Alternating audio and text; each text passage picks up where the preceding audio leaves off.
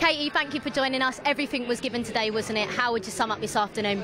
Yeah, totally. I think you could see there we left everything out on the pitch. I was just saying to the girls, I'm so proud of them. No matter what the result today, I know that throughout the season we've literally give everything. We, we had a, a lot of changes coming into the season, so I think you could see in glimpses of that performance that we are a team to be reckoned with and there's a lot of positives to build on for next year. And the first half in particular was outstanding. What was your take on that?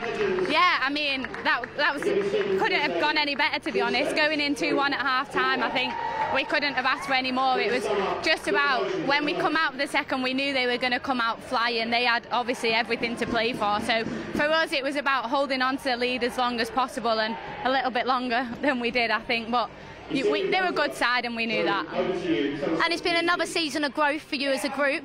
How would you assess the season as a whole?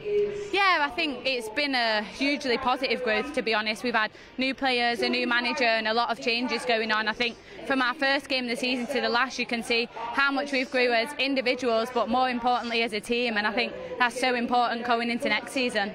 And what are your hopes for this Manchester United side moving forward? I think standing and watching Chelsea is hugely important for us. Not not only to pay them the respect they deserve, but that's where we want to be. We want to we want to be lifting trophies. We want to be fighting for titles. So that gives us the fire we that we want. All right, and finally, to all the fans that have supported you this season, is there anything you want to say to them? Yeah, I just want to say a huge thank you. You can see the how many fans made it down to London. They travel home and away with us, and it's like having an extra man for us. We're so appreciative of how much they do for us, and we just can't thank them enough.